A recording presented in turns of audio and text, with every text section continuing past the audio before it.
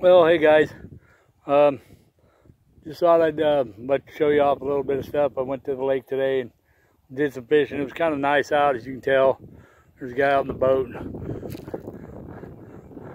Nice. This is just a, this is just one cove out of about 150.